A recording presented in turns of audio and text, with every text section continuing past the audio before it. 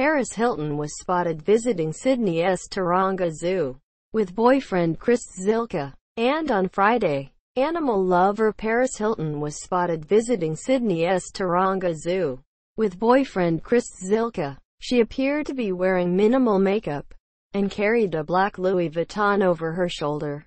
He was seen carrying around a professional camera and took snaps of animals including giraffes. Paris is known for her love of animals and has a number of dogs in Los Angeles. At her home this week, a smitten Paris hinted to Daily Mail Australia that an engagement to Chris is not too far off. Yes, always making me feel more confident and compliments me every second. She further enthused. The couple went public with their romance in February.